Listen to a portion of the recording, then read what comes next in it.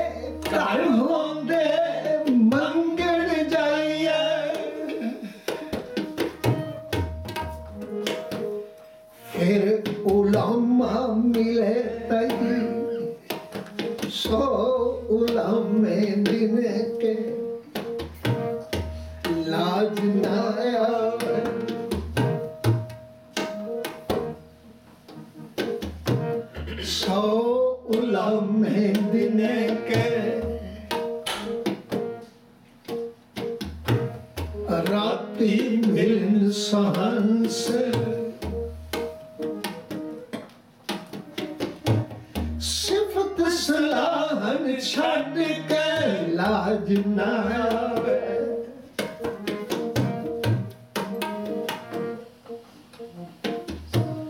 ਸਿਫਤ ਸਲਾਹਨ ਛੱਡ ਕੇ ਕਰੰਗੀ ਲੱਗਾ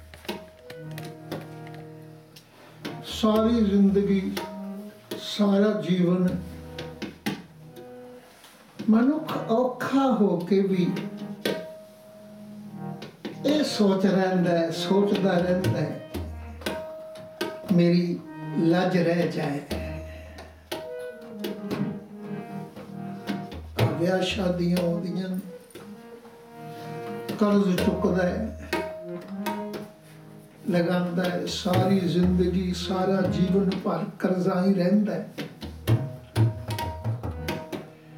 ਜੇ ਉਸ ਨੂੰ ਕੋਈ ਕਹੇ ਨਾ, ਤੂੰ ਇੰਨਾ ਖਰਚ ਕਿਉਂ ਕੀਤਾ? ਉਹ ਕਹਿੰਦਾ, ਮੇਰੀ ਲੱਜ ਨਹੀਂ ਸੀ ਰਹਿੰਦੀ। ਲੱਜ ਦਾ ਅਖਰੀ ਅਰਥ ਮਤਲਬ ਹੈ ਸ਼ਰਮ। ਲੱਜ ਨਾ ਰਹਿਣੀ। ਸ਼ਰਮ ਉਤਰ ਜਾਣੀ ਸ਼ਰਮ ਇੱਕ ਪਰਦਾ ਹੈ। ਜਿੰਦੇ ਓਲੇ ਮਨੁੱਖ ਇੱਜ਼ਤ ਦਾ ਜੀਵਨ ਜੀਵਣਾ ਚਾਹੁੰਦਾ ਹੈ। ਜੇ ਕਿਸੇ ਦੀ ਲਾਜੀ ਨਾ ਰਹੇ, ਕਿਸੇ ਦੀ ਸ਼ਰਮ ਹੀ ਨਾ ਰਹੇ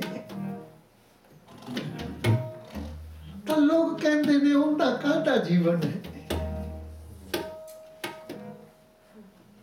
ਹੁਣ ਬਾਬਾ ਕਬੀਰ ਜੀ ਨੇ ਰਾਤ ਵੀ ਇੱਕ ਲਫ਼ਜ਼ ਆਖੇ ਸਨ।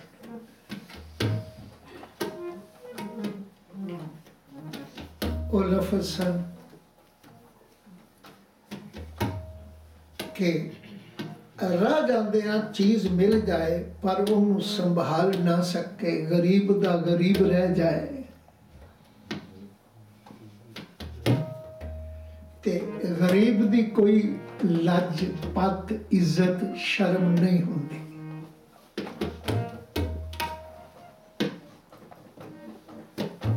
ਜੇ ਕੋਈ ਘਰੋਂ ਅਮੀਰ ਵੀ ਹੋਵੇ, ਕਿਸੇ ਦਰਵਾਜ਼ੇ ਦਾ ਮੰਗਤਾ ਬਣ ਜਾਏ ਉਹਨੂੰ ਲੋਕ ਆਖਦੇ ਨੇ ਨਿਲੱਜ ਹੋ ਗਿਆ ਗੁਰੂ ਨੇ ਬਾਣੀ ਵਿੱਚ ਵੀ ਇਹ ਲਫ਼ਜ਼ ਵਰਤਿਆ ਸਤਿਗੁਰੂ ਕਹਿੰਦੇ ਨੇ।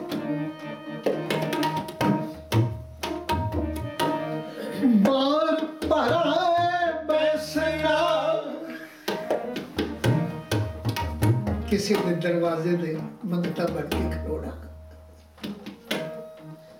ਕਹਿੰਦਾ, ਮੇਰੀ ਲੱਜ ਨਹੀਂ ਲੈਂਦੀ। ਇਸ ਨਾਲ ਮਰ ਜਾਣਾ ਚੰਗਾ ਹੈ। ਲੱਜ ਨਹੀਂ ਲੈਂਦੀ। ਕਹਿੰਦਾ, ਮਤਲਬ ਲੱਜ ਜੇ ਮੇਰੀ ਮਨੁੱਖ ਨੂੰ ਇੰਨੀ ਪਿਆਰੀ ਹੈ, ਜੇ ਉਹ ਨਾ ਰਹੇ ਤੇ ਉਹਦੇ ਨਾਲੋਂ ਮਰਨ ਕਬੂਲਤਾ ਹੈ।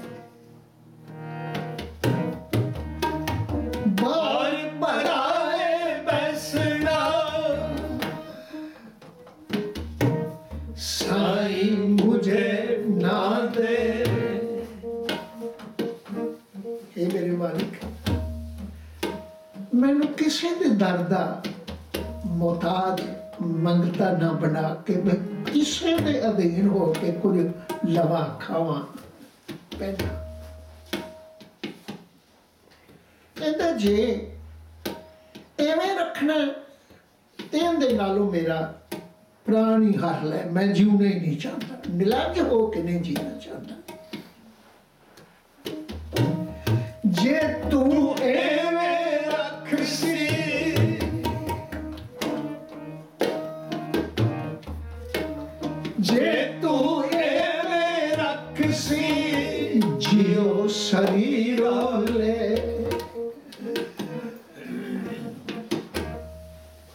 ਮੈਨੂੰ ਪਿਆਰੀ ਪਰ ਗੁਰੂ ਨੇ ਅੱਜ ਦੇ ਸ਼ਬਦ ਵਿੱਚ ਇੱਕ ਉਲੰਭਾ ਦਿੱਤਾ ਹੈ। ਦੁਨੀਆ ਦੇ ਲੋਕ ਲੱਜ ਪਾਲਦੇ ਨੇ। ਔਖਾ ਹੋ ਕੇ ਵੀ ਪਾਲਦੇ ਨੇ, ਮੇਰੀ ਲੱਜ ਸ਼ਰਮ ਰਹਿ ਜਾਏ। ਪਰ ਕਿਹੜੀ ਅਜੀਬ ਗੱਲ ਹੈ? ਮੈਂ ਦੇਖਦਾ ਤੇਰੇ ਵਿਚਾਰ ਵਿੱਚ, ਤੇਰੇ ਜੀਵਨ ਵਿੱਚ ਲੱਜ ਦੀ, ਸ਼ਰਮ ਦੀ ਕੋਈ ਵੈਲਿਊ ਹੀ ਨਹੀਂ। ਤੂੰ ਸਭ ਕੁਝ ਗਵਾ ਬੈਠਾ ਹੈ। ਕਿਹੜਾ ਵੱਡਾ ਉਲੰਭ ਹੈ। ਪੁੱਤਰ ਹੋਵੇ ਬਾਦਸ਼ਾਹ ਦਾ। ਤੇ ਡਰ ਡਰ ਦਾ ਮੰਗਤਾ ਹੋਵੇ। ਤੇਰੀ ਲੱਜ ਕਿਵੇਂ ਰਹਿ ਜਾਏ? ਇਸ ਸ਼ਬਦ ਵਿੱਚ ਇੱਕ ਖਿਆਲ ਦਿੱਤਾ ਕਹਿੰਦੇ ਨੇ ਤੇਰੇ ਸਾਹਮਣੇ ਇੱਕ ਐਸਾ ਸਮਾਂ ਆ ਗਿਆ ਜਿਹਨੂੰ ਆਪਾਂ ਆਖਨੇ ਜੀਵਨ ਤੇ ਮੌਤ ਦਾ ਸਮਾਂ ਮਨੁੱਖ ਜੀਵਨ ਤੇ ਮੌਤ ਦੇ ਦਰਮਿਆਨ ਵਿੱਚ ਹੈ ਨਾ ਇਧਰ ਜਾਂ ਉਧਰ ਮੈਂ ਇੱਕ ਵਾਰ ਉਸ ਕੀਤੀ ਸੀ ਪਿਛਲੇ ਦਿਨ ਵੀ ਜੋ ਕੁਝ ਮੈਂ ਦੇਖਣਾ ਮੈਂ ਉਹ ਆਪਣੇ ਪਰਿਵਾਰ ਵਿੱਚ ਇਸ ਸਤਸੰਗ ਵਿੱਚ ਸਾਂਝਾ ਕਰ ਲੈਣਾ ਜੋ ਕੁਝ ਮੈਂ ਪਿਛਲੇ 2-4 ਦਿਨਾਂ ਵਿੱਚ ਦੇਖਿਆ, ਤੁਹਾਡੇ ਨਾਲ ਸਾਂਝਾ ਕਰਨਾ ਅੱਜ ਕੌਮ ਦੇ ਸਾਹਮਣੇ, ਅੱਜ ਸਿੱਖੀ ਦੇ ਸਾਹਮਣੇ ਐਸਾ ਮੋੜ ਹੈ ਜਿਹਨੂੰ ਆਖਿਆ ਜਾ ਸਕਦਾ ਜੀਵਨ ਜਾਂ ਮੌਤ। ਇੱਕ ਚੀਜ਼, ਫੈਸਲਾ ਤੇਰਾ ਆਪਣਾ ਗੁਰੂ ਕਹਿੰਦੇ ਨੇ, ਇਸੇ ਗੱਲ ਦੇ ਉੱਤੇ ਸ਼ਬਦ ਦੀਆਂ ਜਿਹੜੀਆਂ ਚਾਰ ਲਾਈਨਾਂ ਨੇ ਨਾ, ਉਹਦਾ ਆਰੰਭ ਤੇ ਆਖਰੀ ਲਾਈਨ ਦਾ ਫੈਸਲਾ, ਉਹਦੇ ਵਿੱਚ ਜੀਵਨ ਤੇ ਮੌਤ ਦਾ ਹੀ ਜ਼ਿਕਰ ਹੈ। ਪਹਿਲੀ ਲਾਈਨ ਹੈ, ਸੋ ਪ੍ਰਭ ਤਜ ਕਤ ਲਾਗੀਏ, ਜਿਸ ਬਿਨ ਮਰ ਜਾਈਏ ਰਾਮ, ਉੱਥੇ ਮੌਤ ਦਾ ਜ਼ਿਕਰ ਹੈ। ਪਹਿਲੀ ਤੋਂ ਕਰ। ਕਹਿੰਦੇ ਨੇ ਜਿਸ ਪ੍ਰਭੂ ਨੂੰ ਛੱਡ ਕੇ, ਤਿਆਗ ਕੇ ਮਰ ਜਾਈਏ ਰਾਮ, ਮਰ ਜਾਣਾ ਹੋਵੇ। ਮੌਤ ਸਾਡੇ ਸਾਹਮਣੇ ਹੋਵੇ। ਜਿਹਨੂੰ ਛੱਡ ਕੇ ਜਿਹਨੂੰ ਤਿਆਗ ਕੇ ਸਾਨੂੰ ਮੌਤ ਦਿਸਦੀ ਹੋਵੇ, ਉਹਨੂੰ ਕਿਉਂ ਛੱਡੀਏ? ਸੋ ਪ੍ਰਭ ਤਾਜ ਕਤ ਲਾਗੀਏ ਜਿਸ ਬਿਨ ਮਰ ਜਾਈਏ ਰਾਮ, ਜਿੰਦੇ ਬਿਨਾ ਮੌਤ ਹੋਵੇ, ਜੀਵਨ ਦਾ ਖਾਤਮਾ ਹੋਵੇ ਉਸ ਨੂੰ ਕਿਉਂ ਛੱਡੀਏ ਗੁਰਬਾਣੀ ਦੀ ਲਾਈਨ? ਜਿਸ ਬਿਨ ਮਰ ਜਾਈਏ ਰਾਮ, ਜਿਸ ਚੀਜ਼ ਬਿਨਾ ਜੀਵਨ ਨਾ ਹੋਵੇ, ਹੁਣ ਮੱਛੀ ਪਾਣੀ ਨੂੰ ਕਿਉਂ ਨਹੀਂ ਤਿਆਗਦੀ? ਕਿਉਂਕਿ ਉਹਦੇ ਬਿਨਾ ਜੀਵਨ ਨਹੀਂ। ਮੱਛੀ, ਮੈਂ ਇੱਕ ਵਾਰ ਕੀਤੀ ਸੀ। ਮੱਛੀ 100 ਸਾਲ ਪਾਣੀ ਵਿੱਚ ਰਹੇ ਤੇ ਉਹਨੂੰ ਆਖੋ 2-4 ਘੰਟੇ ਦੁੱਧ ਵਿੱਚ ਬਿਤਾ ਲੈ ਉਹਦੇ ਨਾਲੋਂ ਤਾਂ ਜ਼ਿਆਦਾ ਕੀਮਤੀ ਹੈ ਨਾ। ਤਾਂ ਕਿ ਮੱਛੀ ਪਰਵਾਨ ਕਰ ਲੈਂਦੀ ਹੈ। ਮੈਨੂੰ ਤਾਂ ਪਾਣੀ ਚਾਹੀਦਾ। ਮੈਨੂੰ ਤੇ ਬਾ ਜੋ ਮੱਛਲੀ ਬਿਨ ਪਾਣੀ ਹੈ, ਕਿਉਂ ਜੀਵਨ ਪਾਵੇ? ਗੁਰਬਾਣੀ ਮੱਛੀ ਨੂੰ ਪਾਣੀ ਚਾਹੀਦਾ ਉਹਦਾ ਜੀਵਨ ਉਹਦੇ ਵਿੱਚ। ਇਹੋ ਕਾਰਨ ਹੈ, ਮੱਛੀ ਪਾਣੀ ਨੂੰ ਨਹੀਂ ਛੱਡ ਸਕਦੀ। ਜ਼ਬਰਨ ਉਹਨੂੰ ਕੋਈ ਪਾਣੀ ਵਿੱਚੋਂ ਕੱਢ ਲੈ ਤੇ ਤੜਪ ਤੜਪ ਕੇ ਜਾਨ ਦੇ ਦਿੰਦੀ ਹੈ, ਪਰ ਮੱਛੀ ਪਾਣੀ ਨਹੀਂ ਛੱਡਦੀ, ਉਹਦੇ ਵਿੱਚ ਉਹਦਾ ਜੀਵਨ ਹੈ। ਉਹਦੇ ਬਿਨਾਂ ਉਹਦੀ ਮੌਤ ਹੈ। ਗੁਰੂ ਨੇ ਬਾਣੀ ਵਿੱਚ ਖਿਆਲ ਦੇ ਦਿੱਤਾ ਕਹਿੰਦੇ ਨੇ ਸਿੱਖ ਦਾ ਜੀਵਨ ਗੁਰੂ ਵਿੱਚ ਹੈ। ਸਿੱਖ ਦਾ ਜੀਵਨ ਗੁਰੂ ਵਿੱਚ ਹੈ। ਤੇ ਸਿੱਖ ਭਲਾ ਗੁਰੂ ਨੂੰ ਕਿਵੇਂ ਛੱਡ ਸਕਦਾ? ਜ਼ਰਾ ਸੋਚਿਓ, ਗੁਰਬਾਣੀ ਦੀ ਲਾਈਨਾਂ ਮੈਂ ਗੁਰਬਾਣੀ ਦਾ ਹੀ ਅੱਜ ਦੇ ਹਾਲਾਤ ਤੁਹਾਡੇ ਨਾਲ ਸਾਂਝੇ ਕਰਨਾ ਚਾਹੁੰਦਾ। ਗੁਰੂ ਕਹਿੰਦੇ ਨੇ,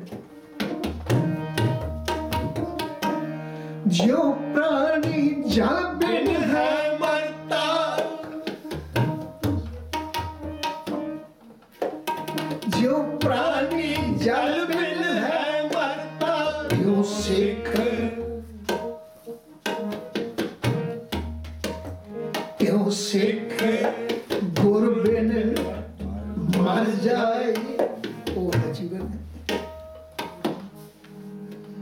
ਮੱਛੀ ਪਾਣੀ ਨਹੀਂ ਤਰ ਸਕਦੀ, ਸਿੱਖ ਰੱਬ ਨੂੰ, ਸਿੱਖ ਗੁਰੂ ਨੂੰ ਨਹੀਂ ਤਿਆਗ ਸਕਦਾ। ਉਹਦੇ ਬਿਨਾ ਮਰ ਜਾਂਦਾ।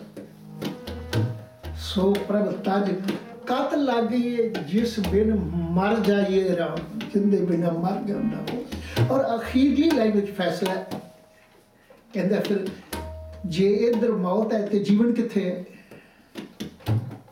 ਨਾਨਕ, ਭਗਤ ਭਾਉ ਕਰ ਦਇਆਲ ਕੀ? ਫੈਸਲਾ ਚੌਥੀ ਲੈਣ ਵਿੱਚ, ਸ਼ਬਦ ਦੀ ਅਖੀਰੀ ਲਾਈਨ ਵਿੱਚ, ਨਾਨਕ ਭਗਤ ਭਾਉ ਕਰ ਦਇਆਲ ਕੀ, ਜੀਵਨ ਪਦ ਪਾਈਏ ਰਾਮ। ਉਥੇ ਜੀਵਨ। ਗੱਲ ਲੁਕਾ ਕੇ ਤੇ ਨਹੀਂ ਰੱਖੀ। ਸ੍ਰੀ ਗੁਰੂ ਗ੍ਰੰਥ ਸਾਹਿਬ ਦੀ ਬਾਣੀ ਕੋਈ ਭੁਲੇਖਾ ਨਹੀਂ ਛੱਡਦੀ ਦੁਬਦਾ ਵਿੱਚ ਨਹੀਂ ਕਹਿੰਦੇ ਨੇ, ਸਿੱਖ ਦਾ ਜੀਵਨ ਗੁਰੂ ਰੱਬ ਦੇ ਵਿੱਚ ਹੈ। ਉਹਨੂੰ ਨਹੀਂ ਤਿਆਗ ਸਕਦਾ। ਤੇ ਉਹਦੀ ਉਹਨੂੰ ਤਿਆਗਣਾ ਉਹਦੀ ਮੌਤ ਹੈ। ਹੁਣ ਅਗਲੀ ਲਾਈਨ ਪੜੋ ਕਹਿ ਲੱਗੇ, ਜਦੋਂ ਮੈਂ ਸਿੱਖ ਵੱਲ ਵੇਖਣਾ, ਅੱਜ ਦੇ ਸਿੱਖ ਵੱਲ ਮੈਂ ਤਾਂ ਹਾਲਾਤ ਵੱਲ ਆਣਾ ਚਾਹਨਾ ਜਦੋਂ ਮੈਂ ਅੱਜ ਦੇ ਸਿੱਖ ਵੱਲ ਦੇਖਣਾ ਇਹਦਾ ਮਤਲਬ ਉਹ ਇੰਨਾ ਅਗਿਆਨਮਤੀ ਹੈ, ਉਹਨੂੰ ਨਹੀਂ ਪਤਾ ਕਿ ਮੇਰਾ ਜੀਵਨ ਗੁਰੂ ਵਿੱਚ ਹੈ।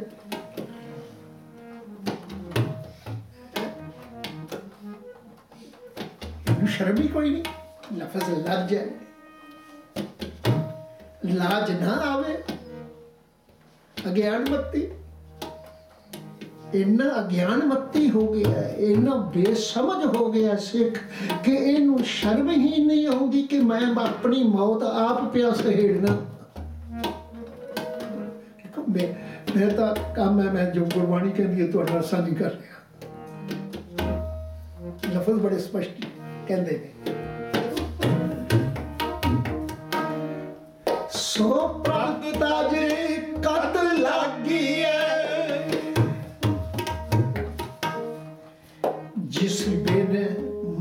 ਮਰ ਜਾਈਏ ਰਾਮ ਜਿੰਦੇ ਬਿਨਾ ਮੌਤ ਹੈ।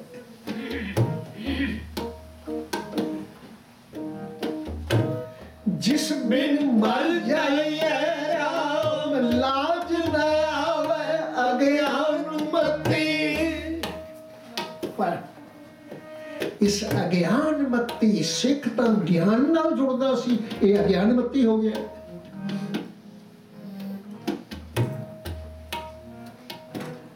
ਅੱਜ ਦਾ ਸਨ ਹੋਵੇ, ਤਾਂ ਕਿ ਦੇਸ਼ ਵਿਦੇਸ਼ਾਂ ਵਿੱਚ ਇੱਕ ਮੈਸੇਜ ਗੁਰਬਾਣੀ ਦਾ ਪਹੁੰਚਾ ਦੇ ਮਨ ਦੀ ਜੋ ਸਾਹਮਣੇ ਹੈ, ਉਹ ਮੈਂ ਸਾਂਝਾ ਕਰ ਲਵਾਂ। ਨੇ, ਸਿੱਖ ਇੰਨਾ ਅਗਿਆਨਮਤੀ ਹੋ ਗਿਆ। ਇਹਨੂੰ ਲੱਜ ਵੀ ਨਹੀਂ ਆਉਂਦੀ ਕਿ ਆਪੇ ਮੌਤ ਪਿਆਸੇ ਹਿੜਨਾ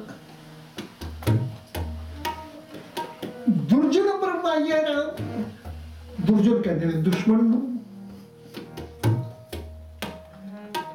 ਦੁਰਜਨ ਦਾ ਅਰਥ ਹੈ ਦੁਸ਼ਮਣ ਇਹ ਦੁਸ਼ਮਣ ਦੁਸ਼ਮਣ ਦੀ ਗੋਦੀ ਵਿੱਚ ਖੇਡਦਾ ਹੋਇਆ ਉਸੇ ਨੂੰ ਪ੍ਰਸੰਨ ਕਰਨ ਲਈ ਆਪਣਾ ਜੀਵਨ ਪਿਆ ਜਿਉਂਦਾ ਹੈ ਫੈਸਲਾ ਬਣ ਬਣੇਗਾ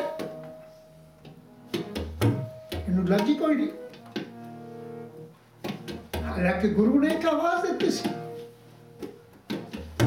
ਕਿ ਸੁਣਮੁੰਦੇ ਹਰਨਾ ਕੀਏ, ਗੂੜਾ ਵੈਨ ਅਪਾਰ, ਪਹਿਲਾਂ ਵਸਤ ਸੰਜਾਨ ਕੇ ਤਾਂ ਕੀਤੇ ਵਪਾਰ।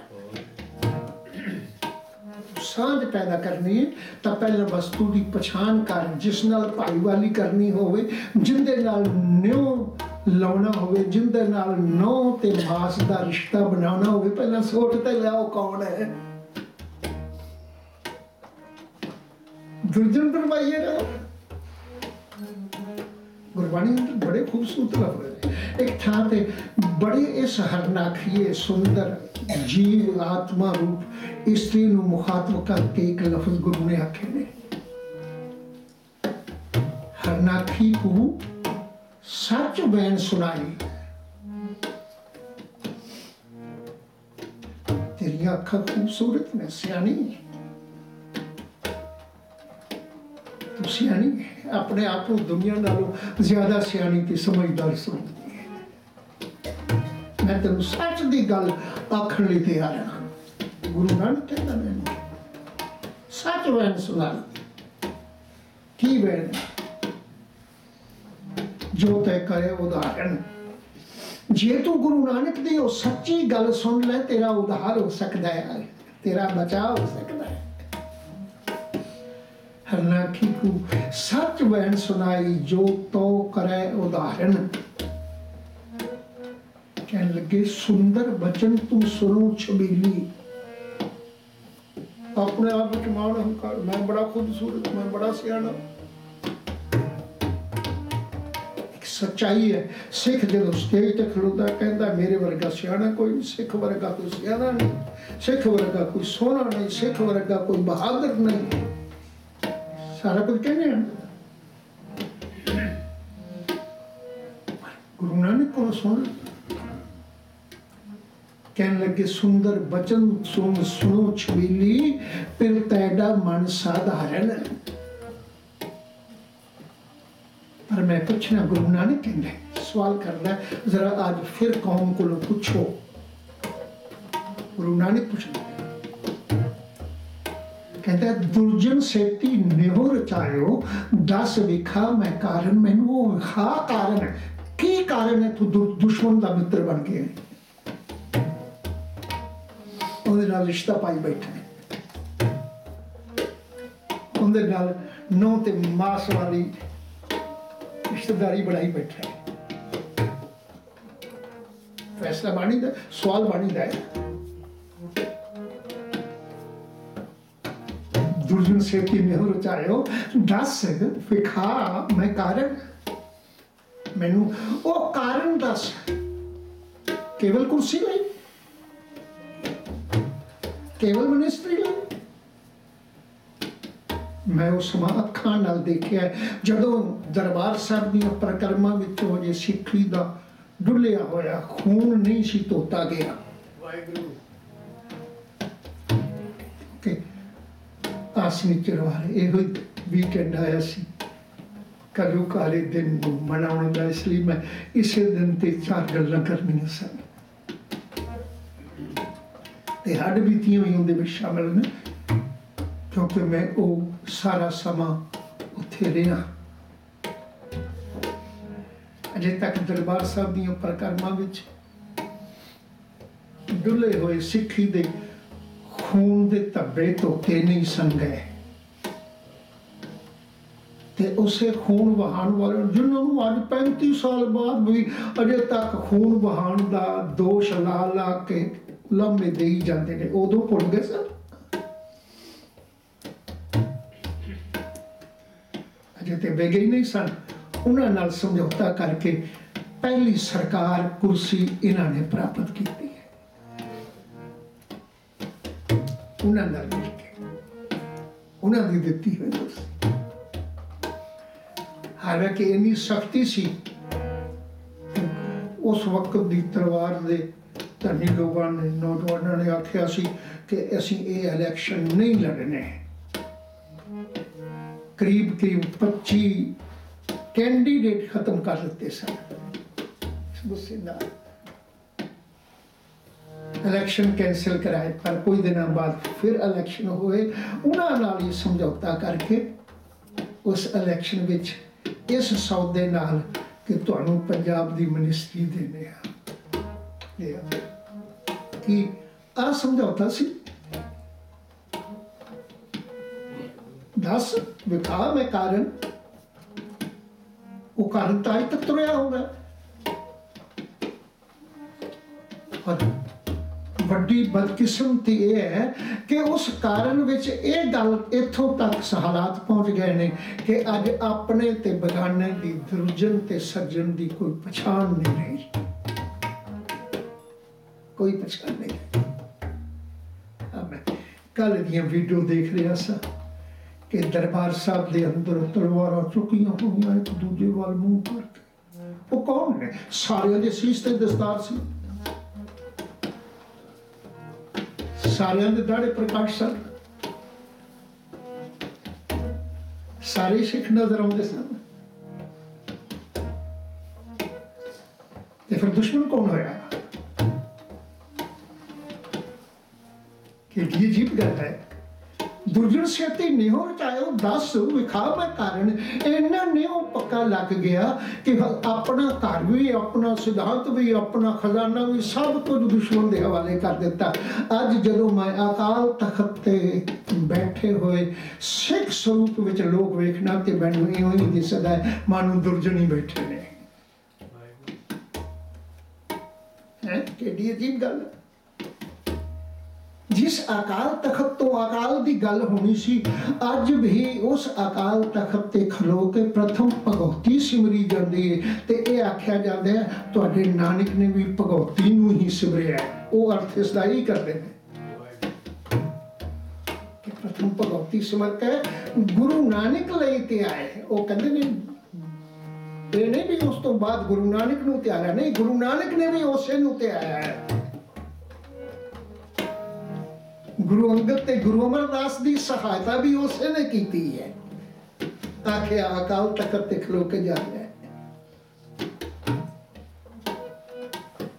ਦਰਬਾਰ ਸਾਹਿਬ ਦੇ ਅੰਦਰ ਜਿਸ ਪਰਮਾਰ ਕੋ ਦੁਸ਼ਮਣ ਨਾਲ ਸਮਝੌਤੇ ਦਾ, ਸੌਦੇ ਦਾ, ਪਿਆਰ ਦਾ, ਰਿਸ਼ਤੇ ਦਾ ਨਤੀਜਾ ਕੀ ਹੋਇਆ ਅੱਜ ਦਰਬਾਰ ਸਾਹਿਬ ਦੇ ਅੰਦਰ ਮਾਂ ਕਾਲ ਅੱਗੇ ਅਰਦਾਸਾਂ ਹੋ ਰਹੀਆਂ ਨੇ। ਹਮਰੀ ਕਰੋ ਹਾਜ਼ਰ ਛਾ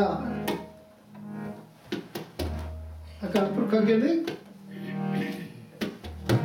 ਪਰਿਓ ਇੱਕ ਖਿਆਲ ਕਰਿਓ। ਦੁਖਾਂਤ ਕੀ ਹੈ? ਕਿਉਂਕਿ ਸੱਜਣ ਤੇ ਦੁਸ਼ਮਣ ਦੀ ਹੁਣ ਪਛਾਣ ਨਹੀਂ ਹੈ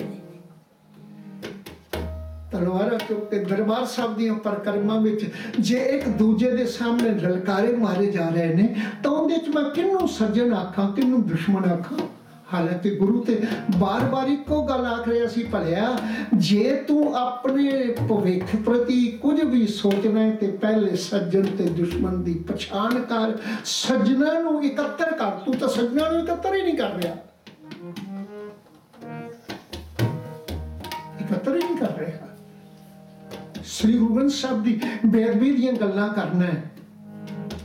ਪਰ ਸ੍ਰੀ ਗੁਰੂ ਗ੍ਰੰਥ ਸਾਹਿਬ ਦੀ ਬੇਅਦਬੀ ਤੈਨੂੰ ਹਜੂਰ ਸਾਹਿਬ ਨਹੀਂ ਨਜ਼ਰ ਆਉਂਦੀ, ਜਿੱਥੇ ਸ੍ਰੀ ਗੁਰੂ ਗ੍ਰੰਥ ਸਾਹਿਬ ਦੇ ਹੁਕਮਾਂ ਦੇ ਉਲਟ ਸਭ ਕੁਝ ਹੋ ਰਿਹਾ ਉਹ ਤੇਰੇ ਆ ਕੇ ਦਰਬਾਰ ਵਿੱਚ, ਤੇਰੇ ਮੀਟਿੰਗ ਵਿੱਚ ਬੈਠ ਕੇ ਫੈਸਲੇ ਕਰਦੇ ਨੇ। ਤੇਰੇ ਫੈਸਲੇ, ਤੇਰਾ ਭਵਿੱਖ ਉਸ ਚਿੱਤਰ ਦੇ ਨਤੀਜਾ ਹੈ ਕਿ ਅੱਜ ਤੂੰ ਦੁਸ਼ਮਣ ਦੇ ਹੱਥ ਦਾ ਇੱਕ ਬਕਾਊ ਮਾਲ ਬਣ ਗਿਆ ਇਹ ਗੱਲ ਰਾਤ ਦੇ ਬਾਬਾ ਕਬੀਰ ਜੀ ਦੇ ਇੱਕ ਸ਼ਲੋਕ ਵਿੱਚ ਬੁੱਢਾ ਬੰਸ ਕਬੀਰ ਦਾ ਉਪਜਿਓ ਪੂਤ ਕਮਾਲ, ਹਰ ਕਾ ਸਿਮਰਨ ਛੱਡ ਕੇ ਘਰ ਲੈ ਆਇਆ ਮਾਰ ਜਿਸ ਦੌਲਤ ਦੀ, ਜਿਸ ਸੰਸਾਰ ਦੀ ਜੀਵਨ ਦੇ ਅੰਦਰ ਮਿਲਣ ਵਾਲੀ ਸ਼ੋਹਰਤ ਦੀ ਗੁਰੂ ਨੇ ਭੁੱਖ ਮਿਟਾਈ ਸੀ। ਕਦੀ ਉਹ ਵਕਤ ਸੀ ਕਿ ਜੇ ਸ਼ੋਹਰਤ ਭਾਵ ਜੇ ਕੁਰਸੀ ਦੇਣ ਵਾਲਾ ਸਰਕਾਰ ਦਾ ਕੋਈ ਪਿਆਦਾ ਵੀ ਆਉਂਦਾ ਸੀ ਨਾ ਕਿ ਆ ਲੈ ਲਓ ਤੇ ਜਵਾਬ ਮਿਲਦਾ ਸੀ ਮੈਨੂੰ ਘੋੜਿਆਂ ਦੀ ਲਿੱਦ ਸਾਫ਼ ਕਰਨ ਦਾ ਦੀ ਸੇਵਾ ਜਿਹੜੀ ਮੇਰੇ ਕੋਲ ਹੈ, ਮੇਰੇ ਕੋਲ ਉਹ ਨਾ ਖਾਓ, ਮੈਨੂੰ ਇਸ ਜਥੇਦਾਰੀ ਦੀ ਲੋੜ ਨਹੀਂ। ਅੱਜ। ਸਾਡੀ ਜ਼ਿੰਦਗੀ, ਸਾਡਾ ਜੀਵਨ ਵਿਕਾਊ ਹੋ ਗਿਆ। ਅਸੀਂ ਸੱਜਣ ਦੇ ਰੂਪ ਵਿੱਚ ਵੀ ਤੇ ਦੁਰਜਨ ਦੇ ਰੂਪ ਵਿੱਚ ਵੀ ਇੱਕੋ ਹੀ ਹੋ ਗਏ। ਗੁਰੂ ਨੇ ਹਾਲਾਂਕਿ ਇੱਕ ਆਵਾਜ਼ ਦਿੱਤੀ ਸੀ ਕਿਹਾ ਸੀ ਦੁਰਜਨ ਸੇ ਤੀਨੇ ਹੋ ਰਚਾਇਓ ਲਾਜ ਨਾ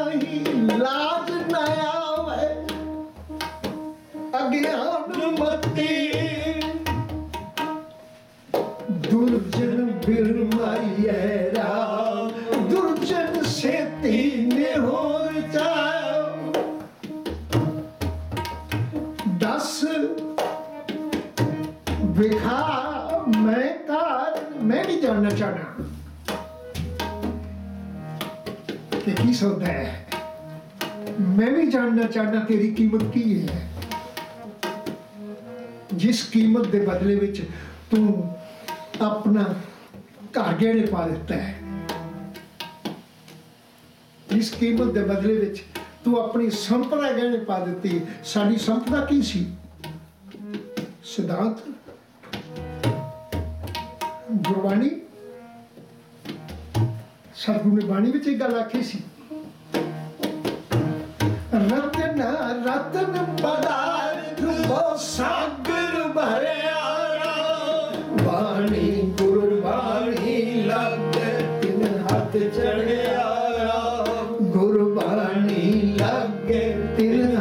ਚੜਿਆ, ਨਿਰਮੋਲ ਰਤਨ ਅਪਾਰਾ। ਬਲਕਿ ਇਥੋਂ ਤੱਕ ਗੁਰੂ ਨੇ ਆਪ ਦਿੱਤਾ, ਕਹਿਣ ਲੱਗੇ, ਰਤਨ ਜਵੇਹਰ ਲਾਲ ਹਰ ਨਾਮਾ, ਗੁਰ ਕਾੜ ਤਲੀ ਦਿਖਲਾਇਆ। ਗੁਰੂ ਨੇ ਤਲੀ ਤੇ ਰੱਖ ਲਿਆ। ਆਖਿਆ, ਧੋਖਾ ਨਹੀਂ ਕਰਨਾ। ਐਨੀ ਕੀਮਤੀ ਚੀਜ਼ ਤੈਨੂੰ ਦੇ ਰਿਹਾ। ਤਾਂ ਜਿੱਥੇ ਉਹਨੇ ਜਪਜੀ ਦਿੱਤਾ ਸੀ, ਤਾਂ ਤੂੰ ਉੱਥੇ ਜਾਪ ਬਿਠਾ ਲਿਆ, ਜਪਜੀ ਛੱਡ ਦਿੱਤਾ। ਜਿੱਥੇ ਉਹਨੇ ਆਸਾ ਦੀ ਵਾਰ ਦਿੱਤੀ ਸੀ ਨਾ, ਉੱਥੇ ਤੂੰ ਚੰਡੀ ਦੀ ਵਾਰ ਬਿਠਾ ਦਿੱਤੀ, ਆਸਾ ਦੀ ਵਾਰ ਤੇ ਆ ਦਿੱਤੀ।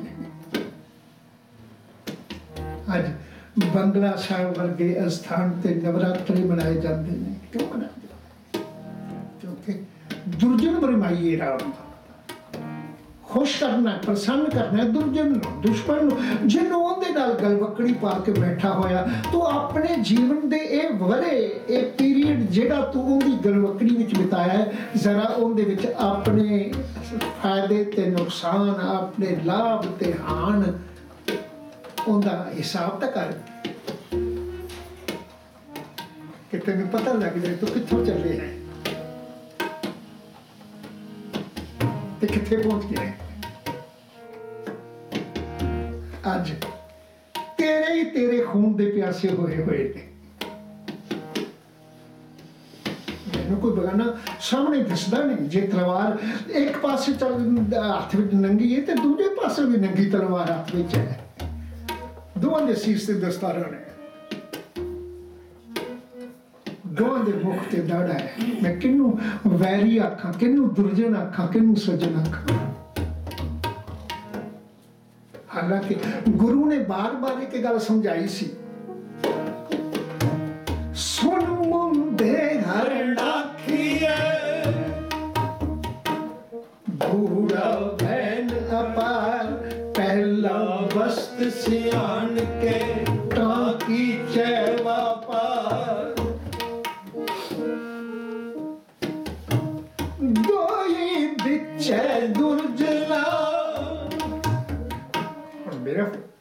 ਸਵਾਲ ਕਰਨੇ ਗੁਰਬਾਣੀ ਦਾ। ਕਹਿਣ ਲੱਗੇ, ਦੁਹਾਈ ਪਾ ਕੇ ਆਖ, ਇਹਨਾਂ ਦੇ ਇਹਨਾਂ ਨੇ ਮੈਨੂੰ ਬਰਬਾਦ ਕਰ ਦਿੱਤਾ ਮੇਰਾ ਇਹਨਾਂ ਦਾ ਕੋਈ ਰਿਸ਼ਤਾ ਨਹੀਂ। ਤੂੰ ਤਾਂ ਕਹਿਣਾ ਜਿਨ੍ਹਾਂ ਨੇ ਬਰਬਾਦ ਕੀਤਾ ਸੀ, ਤੂੰ ਇੰਨਾ ਨਿਲੱਜ ਹੋ ਚੁੱਕਾ ਹੈ ਕਿ ਕਹਿਣਾ ਮੇਰਾ ਉਹਨਾਂ ਦਾ ਨੋ ਮਾਸ ਦਾ ਰਿਸ਼ਤਾ ਹੈ। ਮੈਂ ਨਹੀਂ ਛੱਡ ਸਕਦਾ। ਤੂੰ ਗੁਰੂ ਛੱਡ ਸਕਣਾ ਗੁਰੂ ਦੀ ਬੇਅਦਬੀ, ਤੂੰ ਪਾਸੇ ਇਹ ਗੱਲ ਆਖਣਾ ਕਿ ਗੁਰੂ ਦੀ ਬੇਅਦਬੀ ਕਰਨ ਵਾਲਿਆਂ ਨੂੰ ਭਾਲਿਆ ਜਾਏ। ਅੱਜ ਦਾ ਸਵਾਲ ਹੈ। ਪਿਛਲੇ ਕੁਝ ਸਾਲਾਂ ਵਿੱਚ ਜਿੱਥੇ ਜਿੱਥੇ ਸ੍ਰੀ ਗੁਰੂ ਗ੍ਰੰਥ ਸਾਹਿਬ ਦੀ ਬੇਅਦਬੀ ਹੋਈ ਹੈ, ਉਹਨਾਂ ਬੇਅਦਬੀ ਕਰਨ ਵਾਲਿਆਂ ਦਾ ਪਿਛੋਕੜ ਜਾਣਿਆ ਜਾਏ, ਸੰਭਾਲਿਆ ਜਾਏ। ਪਰ ਜਦੋਂ ਮੈਂ ਤੇਰੇ ਵੱਲ ਦੇਖਣਾ ਤੇ ਮੈਂ ਦੇਖਣਾ ਤੂੰ ਤੇ ਰੋਜ਼ ਬੇਅਦਬੀ ਕਰ ਰਿਹਾ ਹੈ, ਹਜੂਰ ਸਾਹਿਬ ਵੀ ਕਰ ਰਿਹਾ ਹੈ, ਇੱਥੇ ਵੀ ਕਰ ਰਿਹਾ ਹੈ। ਮੈਂ ਤੇ ਦਿਲ ਕੀਤੀ ਕਿ ਜਿਹਨੂੰ ਅਕਾਲ ਤਖਤ ਆਖਦਾ ਹੈ, ਉਸ ਥਾਂ ਤੇ ਵੀ ਬਾਹਰ ਉੱਚੀ ਥਾਂ ਤੇ ਸ਼ਸਤਰਾਂ ਦਾ ਟਿਕਾਣਾ ਹੈ, ਸ੍ਰੀ ਗੁਰੂ ਗ੍ਰੰਥ ਸਾਹਿਬ ਦਾ ਨੀਮਾ ਹੈ। 5 ਫੁੱਟ ਘਟੋ ਘੱਟ ਨੀਮਾ ਹੈ ਸ੍ਰੀ ਗੁਰੂ ਗ੍ਰੰਥ ਸਾਹਿਬ ਦਾ ਪ੍ਰਕਾਸ਼ ਉਹਨਾਂ ਸ਼ਸਤਰਾਂ ਨਾਲ, ਉਸ ਅਕਾਲ ਤਖਤ ਦੇ ਸਥਾਨ ਨਾਲ। ਉਹ ਬੇਅਦਬੀ ਨਹੀਂ। ਤੂੰ ਰੋਜ਼ ਪਿਆ ਕਰਨਾ ਹੈ। ਬੇਅਦਬੀ ਕਰਨ ਵਾਲੇ, ਬਾਹਰੋਂ ਕੀ ਭਾਲਦੇ ਨੇ ਮੈਂ ਉਸੇ ਦਰਬਾਰ ਵਿੱਚ ਬੈਠੇ ਹੋਏ, ਉੱਥੋਂ ਦੇ ਹਾਕਮ ਬਣ ਕੇ ਬੈਠੇ ਹੋਏ, ਜਿਹੜੇ ਲੋਕ ਨੇ, ਉਹਨਾਂ ਨੂੰ ਦਿਖਾ ਦੇਣਾ, ਸ੍ਰੀ ਗੁਰੂ ਗ੍ਰੰਥ ਸਾਹਿਬ ਦੀ ਬੇਅਦਬੀ ਕਰਨ ਵਾਲੇ। ਬਾਹਰੋਂ ਭਾਲਣ ਦੀ ਲੋੜ ਨਹੀਂ। ਸਿਰਫ ਤੇਰੀ ਪਛਾਣ ਦਾ ਫ਼ਰਕ ਹੈ। ਗੁਰੂ ਇਹੋ ਆਵਾਜ਼ ਦਿੰਦਾ ਹੈ ਤੇ ਕਹਿੰਦਾ ਹੈ, ਪਹਿਲਾ ਮਸਤ ਸਿਆਣ ਕੈ ਤਾਂ ਕੀ ਚੈ ਵਪਾਰ ਦੋਹੀ ਵਿਚੈ ਦੁਰਜਨਾ। ਦੋਹੀ ਤੋਂ ਭਾਵ ਹੈ ਦੁਹਾਈ ਪਾਣੀ। ਦੁਹਾਈ ਪਾ ਕਿ ਇਹਨਾਂ ਨੇ ਬਰਬਾਦ ਕੀਤਾ। ਤੂੰ ਤਾਂ ਉਹਨਾਂ ਨਾਲ ਰਿਸ਼ਤੇਦਾਰੀਆਂ ਬਣਾ ਬੈਠਾ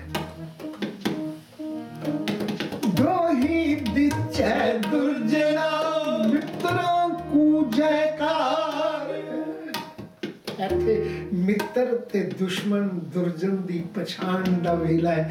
ਅੱਜ ਤੇਰਾ ਦੁਖਾਂਤ ਕੀ ਹੈ ਕਿ ਤੂੰ ਮੌਤ ਦੇ ਕੰਢੇ ਤੇ ਖਲੋਤਾ ਵੀ ਆਪਣਿਆਂ ਤੇ ਬਗਾਨਿਆਂ ਨੂੰ ਪਛਾਣ ਨਹੀਂ ਸਕਦਾ? ਅੱਜ ਆਪਣੇ ਵੀ ਤੇਰੇ ਦੁਸ਼ਮਣ ਨੇ। ਗੁਰੂ ਨੇ ਐਵੇਂ ਨਹੀਂ ਆਖਿਆ, ਫਿੱਟ ਹੋਵੇ ਹਾ ਜੀਵਿਆ, ਜਿਤ ਖਾਏ ਵਧਾਇਆ ਪੇਟ।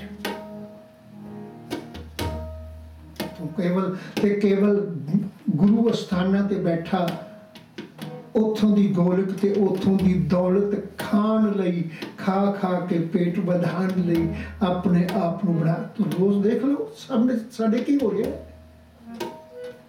ਅੱਜ ਦਾ ਦਿਹਾੜਾ ਕਿਉਂਕਿ ਕੱਲੂ ਦਿਹਾੜਾ ਸੀ। ਇਸ ਲਈ ਉਸੇ ਨੂੰ ਮਨਾਉਂਦੇ ਆ ਅਸੀਂ, ਮੈਂ ਸਪਸ਼ਟ ਗੱਲਾਂ ਤੁਹਾਡੇ ਨਾਲ ਕਰ ਰਿਹਾ।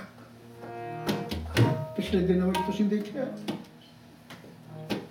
ਲਗਾਤਾਰ ਉਹਨਾਂ ਦੀਆਂ ਇੰਟਰਵਿਊ ਸੁਣੀਆਂ ਨੇ। ਇੱਕ ਦੂਜੇ ਦੇ ਕਿੰਨੀਆਂ ਸਪਸ਼ਟ ਕਰਕੇ ਫੈਸਲੇ ਸੁਣਾ ਰਹੇ ਨੇ ਕਿ ਐਨੇ ਕਰੋੜ ਆ ਖਾ ਗਿਆ। ਉਹ ਕਹਿੰਦਾ, ਨਹੀਂ, ਮੈਂ ਤਾਂ ਘੱਟ ਖਾਦਾ ਹੈ ਐਨੇ ਕਰੋੜ ਆ ਖਾ ਗਿਆ। ਹੈ? ਹੈਂ? ਦਰਬਾਰ ਸਾਹਿਬ ਦਾ 12 ਅਰਬ ਦਾ ਬਜਟ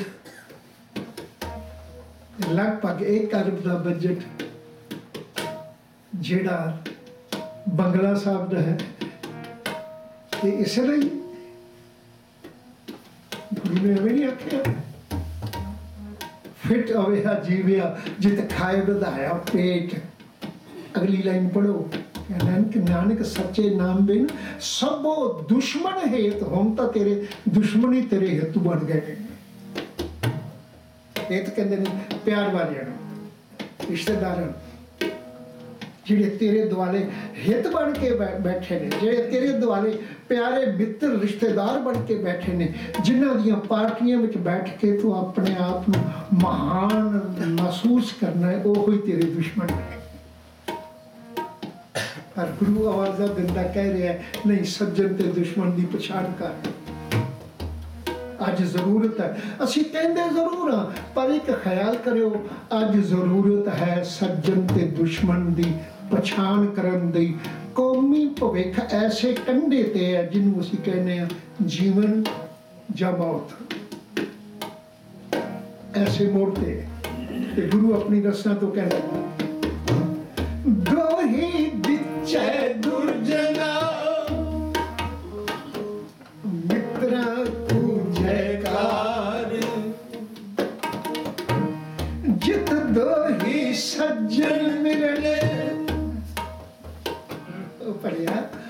ਆਵਾਜ਼ ਉਹ ਦੇ ਤਾਂ ਕਿ ਤੈਨੂੰ ਤੇਰੇ ਸੱਜਣ ਮਿਲ ਸਕਣ। ਤੇ ਫਿਰ ਇਹ ਕਹਿੰਦੇ ਨੇ ਇਸ ਭੁਲੇਖੇ ਵਿੱਚ ਵੀ ਨਾ ਰਹੇ। ਮਤ ਕਿਤੇ ਸੱਜਣ ਦੇ ਭੁਲੇਖੇ ਵਿੱਚ ਦੁਰਜਨ ਇਕੱਠੇ ਕਰ ਲਏ। ਮੈਂ ਤੈਨੂੰ ਸੱਜਣ ਦੀ ਨਿਸ਼ਾਨੀ ਵੀ ਦੱਸਣਾ। ਸ੍ਰੀ ਗੁਰੂ ਗ੍ਰੰਥ ਸਾਹਿਬ ਕਹਿੰਦੇ ਸੱਜਣ ਕੌਣ ਹੈ? ਗੁਰਬਾਣੀ ਪੜੋ ਸਤਿਗੁਰੂ ਕਹਿੰਦੇ ਸੱਜਣ ਮਿਲੇ, ਸੱਜਣਾ। ਗੁਰਬਾਣੀ ਦੀ ਤੁਕ ਕਹਿੰਦੇ ਸੱਜਣ ਦੀ ਨਿਸ਼ਾਨੀ, ਸਿੱਖ ਦਾ ਸੱਜਣ ਕੌਣ ਹੋ ਸਕਦਾ ਹੈ ਜਿੰਦੀ ਸਾਂਝ ਗੁਰੂ ਨਾਲ ਹੋਵੇ, ਸ੍ਰੀ ਗੁਰੂ ਗ੍ਰੰਥ ਸਾਹਿਬ ਨਾਲ ਹੋਵੇ? ਫੈਸਲਾ ਬਾਣੀ ਦਾ ਹੈ। ਸੱਜਣ ਮਿਲੇ, ਸੱਜਣਾ ਜਿਨ ਸਤਿਗੁਰੂ ਨਾਲ ਪਿਆਰ ਹੈ, ਜਿਨ੍ਹਾਂ ਦਾ ਗੁਰੂ ਨਾਲ ਪਿਆਰ ਹੈ।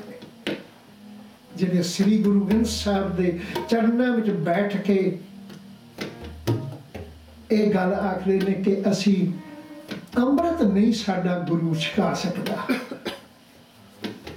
ਨਿਤਨੇਮ ਅਸੀਂ ਇਸ ਗੁਰੂ ਦਾ ਨਹੀਂ ਕਰ ਸਕਦੇ। ਇਸ ਬਾਣੀ ਵਿੱਚ ਅਜੇ ਕੋਈ ਥੋੜਾ ਹੈ। ਸ੍ਰੀ ਗੁਰੂ ਗ੍ਰੰਥ ਸਾਹਿਬ ਦੇ 1429 ਸਫਿਆਂ ਵਿੱਚ ਅਜੇ ਥੋੜਾ ਹੈ। ਕੁਝ ਕਮੀ ਹੈ। ਸਾਨੂੰ ਬਾਹਰੋਂ ਨਾ ਮਿਲੇ ਤਾਂ ਅਸੀਂ ਸਿੱਖ ਨਹੀਂ ਹੋ ਸਕਦੇ। ਸਿੱਖ ਦੇ ਸੱਜਣ ਹੋ ਸਕਦੇ ਨੇ। ਤੁਹਾਨੂੰ ਫੈਸਲਾ ਕਰਨਾ ਪਏਗਾ। ਮੌਤ ਤੇ ਜੀਵਨ ਦੇ ਇੱਕ ਐਸੇ ਮੋੜ ਤੇ ਖੜੇ ਹੋ, ਜਿੱਥੇ ਤੁਹਾਨੂੰ ਫੈਸਲਾ ਕਰਨਾ ਪਏਗਾ। ਤੇ ਇਹ ਫੈਸਲਾ ਗੁਰੂ ਨੇ ਕਰਨ ਲਈ ਹੀ ਇਹ ਗੱਲ ਆਖੀ ਹੈ।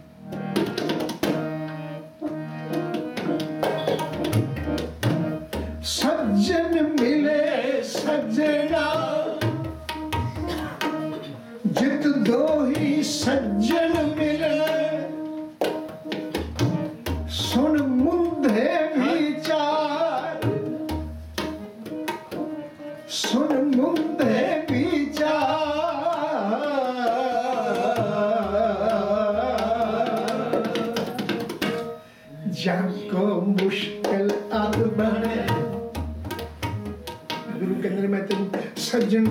ਮਿਲਾਪ ਦੀ ਇਹਨਾਂ ਦੁੱਖਾਂ ਵਿੱਚੋਂ ਇਸ ਮੌਤ ਦੇ ਖੂਹ ਵਿੱਚੋਂ ਨਿਕਲ ਕੇ ਆਪਣੇ ਆਪ ਨੂੰ ਬਚਾ ਕੇ ਰੱਖਣ ਦੀ ਤਰਕੀਬ ਵੀ ਦੱਸਣਾ। ਜਗ ਕੋ ਮੁਸ਼ਕਲ ਅਤ ਬਣੇ ਤੋਈ ਕੋਏ ਨਾ ਦੇ। ਲਾਗੂ ਹੋਏ ਦੁਸ਼ਮਣਾ ਸਾਕ ਵਿੱਚ ਭੱਜ ਖੜੇ। ਹੈ ਕਿ ਇਸ ਵਿੱਚ ਅੰਤਰ ਕਿ ਜਿਹੜੇ ਚਾਰ ਚਫੇਰੇ ਲਾਗੂ ਹੋਏ ਨੇ, ਉਹ ਦੁਸ਼ਮਣ ਨੇ। ਤੇ ਜਿਹੜੇ ਤੇਰੇ ਮਿੱਤਰ ਸਨ, ਉਹ ਤੇਰਾ ਸਾਥ ਛੱਡ ਗਏ ਨੇ। ਇਹ ਹਾਲਤ ਵੇਖ ਅੱਜ ਤੇਰੇ, ਜਿਹੜੇ ਤੇਰੇ ਮਿੱਤਰ ਸਨ, ਜਿਹੜੇ ਸਿੱਖੀ ਨਾਲ ਪਿਆਰ ਕਰਦੇ ਸਨ, ਉਹ ਤੇਰੇ ਤੋਂ ਦੂਰ ਨੇ। ਲਾਗੂ ਹੋਏ ਦੁਸ਼ਮਣਾ। ਸਾਕ ਵੇ, ਭੱਜ ਖਲੇ ਚਲੇ ਗਏ, ਛੱਡ ਗਏ। ਕਹਿਣ ਲੱਗੇ ਉਸ ਟਾਈਮ ਤੇ ਇੱਕੋ ਇੱਕ ਸਹਾਰਾ ਹੈ। ਸਭੋ ਭੱਜੇ ਆਸਰਾ। ਸਭੋ ਭੱਜੇ ਆਸਰਾ। ਝੂਕੇ ਸਭ ਅਸਰਾ। ਚਿਤ ਦਾਵੇ ਉਸ ਪਾਰ ਬ੍ਰਹਮ। ਤੈਨੂੰ ਅਜੇ ਤੱਕ ਵੀ ਪਾਰ ਬ੍ਰਹਮ ਨਹੀਂ ਚੇਤੇ ਆਇਆ। ਅਜੇ ਤੱਕ ਵੀ ਤੈਨੂੰ ਅਕਾਲ ਪੁਰਖ ਤੋਂ ਨਫ਼ਰਤ ਹੈ। ਹਾਲਾਂਕਿ ਗੁਰੂ ਬਾਰ-ਬਾਰ ਇੱਕ ਗੱਲ ਕਹਿ ਰਿਹਾ ਹੈ, ਦੇਵੀ ਦੇਵਾ ਪੂਜੇ ਡੋਲੇ, ਪਾਰ ਬ੍ਰਹਮ ਨਹੀਂ ਜਾਣਾ। ਤੇ ਗੁਰੂ ਆਵਾਜ਼ ਦੇ ਰਿਹਾ ਹੈ, ਕਹਿੰਦਾ ਚਿਤ ਆਵੇ ਉਸ ਪਾਰ ਬ੍ਰਹਮ, ਜਿਹੜਾ ਪਾਰ ਬ੍ਰਹਮ ਨੂੰ ਭੁੱਲ ਚੁੱਕਾ ਹੈ, ਜਿਹੜਾ ਅਕਾਲ ਪੁਰਖ ਨੂੰ ਭੁੱਲ ਚੁੱਕਾ ਹੈ, ਜੇ ਭਲਾ ਉਹਨੂੰ ਅਕਾਲ ਪੁਰਖ ਚੇਤੇ ਆ ਜਾਏ, ਜੇ ਭਲਾ ਉਹਨੂੰ ਪਾਰ ਬ੍ਰਹਮ ਚੇਤੇ ਆ ਜਾਏ, ਤੇ ਮੈਂ ਉਹਨੂੰ ਤੱਤੀ ਬਾਤ ਲੱਗਣ ਤੋਂ ਬਚਾ ਸਕਣਾ, ਫੈਸਲਾ ਗੁਰੂ ਦਾ ਹੈ, ਕਹਿੰਦਾ। ਚਿੱਤ ਉਸ ਪਾਰ ਬ੍ਰਹਮ। ਚਿੱਤ ਆਵੇ ਉਸ ਪਾਰ ਬ੍ਰਹਮ। ਲੱਗੇ ਨਾ ਤੱਤੀ ਲੱਗੇ ਨਾ ਤਤੀਵਾ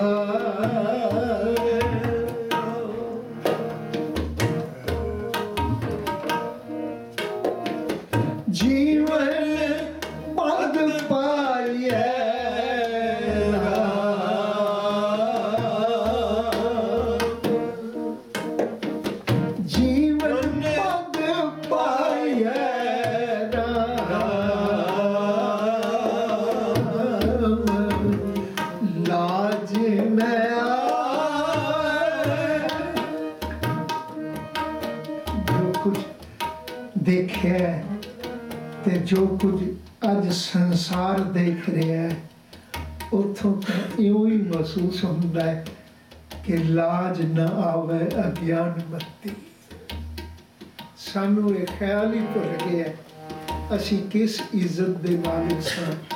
ਅੱਜ ਉਸੇ ਹੀ ਦਰਬਾਜ਼, ਉਸੇ ਹੀ ਲਿਬਾਸ, ਉਸੇ ਹੀ ਸਥਾਨ ਤੇ ਆਪਣੀ ਸ਼ਰਮ ਦਾ, ਆਪਣੀ ਲੱਜ ਦਾ ਆਪ ਹੀ ਜਨਾਜ਼ਾ ਕੱਢ ਰਹੇ। ਹਾਂ ਲਾਜ ਨਾ ਆਵੇ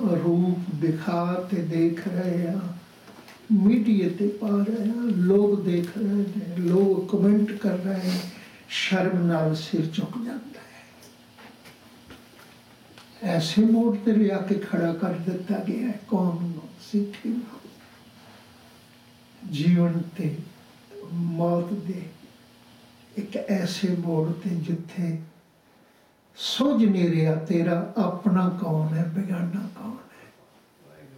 ਸੱਜਣ ਕੌਣ ਹੈ? ਦੁਸ਼ਮਣ ਕੌਣ ਹੈ? ਪਰ ਗੁਰੂ ਇੱਕ ਫੈਸਲਾ ਦਿੰਦਾ ਹੈ ਕਹਿੰਦਾ ਹੈ, ਸਿੱਖੀ ਦਾ ਜੀਵਨ ਗੁਰੂ ਵਿੱਚ ਹੈ। ਜੋ ਪ੍ਰਾਣੀ ਜਲ ਬਿਨ ਹੈ ਮਰਤਾ ਤਿਉ ਸਿੱਖ ਗੁਰਬਿਨ ਮਰ ਜਾਏ। ਸਿੱਖੀ ਦਾ ਜੀਵਨ ਪ੍ਰਭੂ ਦੇ ਸਿਮਰਨ ਵਿੱਚ ਹੈ, ਪ੍ਰਭੂ ਦੀ ਯਾਦ ਵਿੱਚ ਹੈ। ਪਰ ਸਿੱਖੀ ਦੀ ਮੌਤ ਗੁਰੂ ਨਾਲੋਂ ਟੁੱਟ ਕੇ ਹੈ। ਸਿੱਖ ਨੂੰ ਕੋਈ ਤਲਵਾਰਾਂ, ਬੰਦੂਕਾਂ ਤੇ ਤੋਪਾਂ ਨਾਲ ਨਹੀਂ ਖਤਮ ਕਰ ਸਕਦਾ। ਜੇ ਸਿੱਖੀ ਗੁਰੂ ਨਾਲ ਜੁੜੀ ਰਹੇ, ਜੇ ਅਕਾਲ ਪੁਰਖ ਨਾਲ ਜੁੜੀ ਰਹੇ ਤੇ ਜੇ ਮਾਂ ਕਾਲ ਅੱਗੇ ਕਹਿੰਦੀ ਰਹੀ ਹਮਰੀ ਕਰੋ ਹੱਥ ਦੇ ਰੱਛਾ ਹਮਰੀ ਕਰੋ ਹੱਥ ਦੇ ਰੱਛਾ ਤਾਂ ਕਰਦੀ ਰਹੇ ਜਿੰਨੀ ਦੇਰ ਮਰਜ਼ੀ ਕਰਦੀ ਰਹੇ ਇਹ ਆਸ ਨਾ ਰੱਖੋ ਕੋਈ ਮਾਂ ਕਾਲ ਆ ਕੇ ਤੁਹਾਡੀ ਰੱਖਿਆ ਕਰੇਗਾ।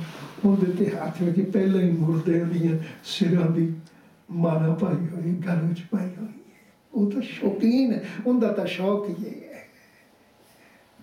ਇਸ ਲਈ ਬਹੁਤ ਜ਼ਰੂਰੀ ਹੈ ਅਕਾਲ ਪੁਰਖ ਨਾਲ, ਪਾਰ ਬ੍ਰਹਮ ਨਾਲ, ਗੁਰੂ ਨਾਲ, ਜਿੰਦਾ ਫ਼ਰਕ ਕੋਈ ਨਹੀਂ। ਪਾਰ ਬ੍ਰਹਮ ਗੁਰ ਨਾਹੀ ਭੇਦ ਨਾਨਕ ਸੋਧੇ ਸਿਮਰਤ ਵੇਦ, ਪਾਰ ਬ੍ਰਹਮ ਗੁਰ ਨਾਹੀ ਭੇਦ।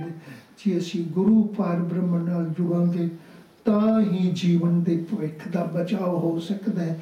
ਤੇ ਨਹੀਂ ਤਾਂ ਜਿਨ੍ਹਾਂ ਰਾਹਾਂ ਤੇ ਪਏ ਹੋਏ ਆ ਇਹ ਤੁਸੀਂ, ਅਸੀਂ ਤੇ ਸਮਾਜ ਸਾਰਾ ਹੀ ਦੇਖ ਰਿਹਾ ਹੈ। ਇਸ ਵਿੱਚ ਕੋਈ ਛੁਪੀ ਹੋਈ ਗੱਲ ਨਹੀਂ।